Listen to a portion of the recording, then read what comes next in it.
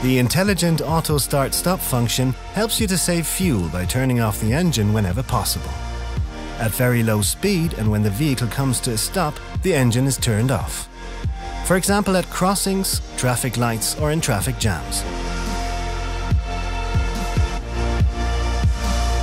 The engine only stops when it is reasonable and the operating requirements are met. For example, the engine will not stop when a quick drive-off is possible or if the engine has not reached the operating temperature. All components working with the auto start-stop function are engineered for the vehicle's lifetime. If you would like to, you can turn off the auto start-stop function via the switch close to the start-stop button. Continue watching our how-to series to get the most out of your BMW.